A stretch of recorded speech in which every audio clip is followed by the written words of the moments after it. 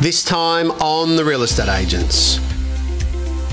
Watch as we are challenged to explore all avenues to secure a sale in what was one of our toughest and closest to home properties yet. So everyone's no, no, no. All right, folks, so I'm just going to pass the property straight in, if that's okay. Thank you for your attention.